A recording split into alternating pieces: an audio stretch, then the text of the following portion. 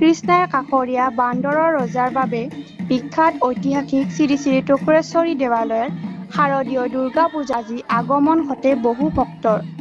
উল্লেখযোগ্য যে টুকুৰেশ্বৰী দেৱালয়ত জাক জমকতা পৰিহাৰ কৰি তাহানি ৰজাদিনীয়া পৰম্পৰাৰ মাজেৰে মৃন্ময় প্ৰতিমাবিহীনভাৱে অনুষ্ঠিত হয় শাৰদীয় দুৰ্গা পূজা। প্ৰতি বছৰে মহানৱমীৰ দিনা দেৱালয়খনত অভাৱনীয় হাৰত বৃদ্ধি পায় ভক্তৰ ভিৰ। কাৰণ মহানৱমীত দেৱীৰ নামত বলি হিচাপে আগবঢ়োৱা হয় মহ জানিব পৰা মতে এইবেলি টুকুৰেশ্বৰী দেৱালয়ত মহানৱমীৰ দিনা ছাগলী হাঁহ পাৰ কুঁহিয়াৰ কমৰা আদি লগতে চাৰিটা বিভিন্ন অঞ্চলৰ ভক্তই আগবঢ়োৱা মহ বলি হিচাপে আগবঢ়োৱা হ'ব।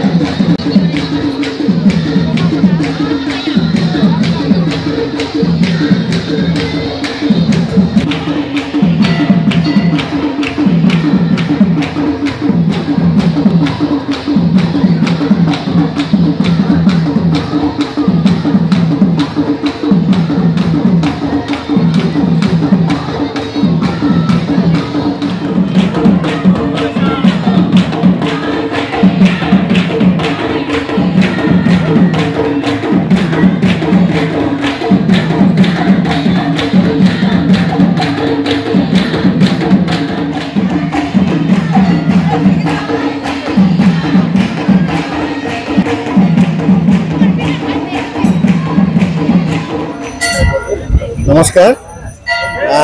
টুকুৰেশ্বৰী দেৱালয় বুলি ক'লে অসমৰ প্ৰত্যেকে নিশ্চয় জানে গোৱালপাৰা জিলাৰ অন্যতম পীঠস্থান টুকুৰেশ্বৰী দেৱালয়। এই দেৱালয়ত আচলতে মৃন্ময়বিহীনভাৱে দুৰ্গা পূজা মানে শ শ বছৰ ধৰি চলি আহিছে পৰম্পৰাগতভাৱে। বিশেষকৈ আজি অষ্টমী কাইলৈ নৱমী। এই দুদিন যেনেকৈ ভক্তপ্ৰাণ ৰাইজৰ পাৰ ভঙা ইয়াত যিটো উপস্থিত হয় আমি দেখি মানে মনত ইমানেই সন্তুষ্টি লাভ কৰোঁ। মই এই আহ, টুকুৰি শ্ৰী দেৱালয় পৰিচালনা কমিটিৰ সভাপতি তৰুণ চন্দ্ৰ ৰাভা এখেত আহ, আমাৰ পৰিচালনা কমিটিৰ সন্মানীয় সম্পাদক ভৱতাৰণ বৰ্মন ডাঙৰীয়া সকলো ৰাইজৰ জিলাৰ সকলো ৰাইজৰ ভক্তপ্ৰাণ ৰাইজৰ সহযোগত ইমান সুন্দৰভাৱে আহ, পূজা পৰিচালনা হৈ আছে আৰু ভক্তপ্ৰাণ ৰাইজৰ উপস্থিতিয়ে আমাক মনত যথেষ্ট মানে শান্তি দিছে। আৰু সকলো ভক্তপ্ৰাণ ৰাইজক কওঁ আহক আপোনালোকে এই মন্দিৰলৈ আহি এই তীৰ্থস্থানলৈ আহি আপোনালোকৰ মনোকামনা পূৰ্ণ কৰক। মাৰ শ্ৰীচৰণত নিজক সমৰ্পণ কৰি পেলাই আপোনালোকৰ আশা আকাংক্ষা পূৰ্ণ কৰক। আৰু আমি টুকুৰেশ্বৰী দেৱালয় পৰিচালনা কমিটিয়ে এনেধৰণৰ আহি থকা দিনবোৰক সকলো মানে ভক্তপ্ৰাণ ৰাইজ আমাৰ ৰাজ্যখনৰ জিলাখনৰ সকলো ৰাইজৰে সুখ শান্তি আৰু উন্নতি কামনা কৰিছোঁ।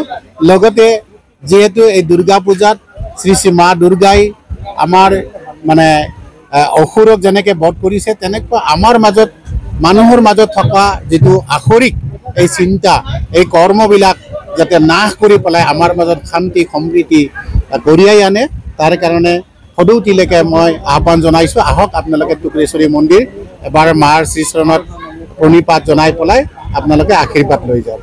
ধন্যবাদ।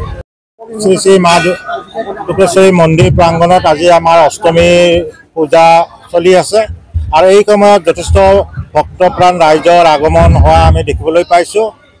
আমাৰ এই মন্দিৰখন অতি প্ৰাচীন ৰজাদিনীয়া আৰু সেই ৰজাদিনীয়া পৰম্পৰাৰ পদ্ধতিৰে আমাৰ ধৰি লওক যি যাৱতীয় পৰম্পৰাগত পূজা অৰ্চনা সেই পূজা অৰ্চনা চলি আছে। আৰু আমাৰ বৰ্তমান জনসাধাৰণৰ সমাগম যথেষ্ট হোৱা দেখা যায়। গতিকে আশা কৰোঁ যাতে আমাৰ দুৰ্গা পূজাখন ভালে ভালে চলি যাওক আৰু ৰাইজৰ সুফল কামনা কৰি মই ইয়াতে ৰাইজলৈ আহ্বান জনাই ধন্যবাদ।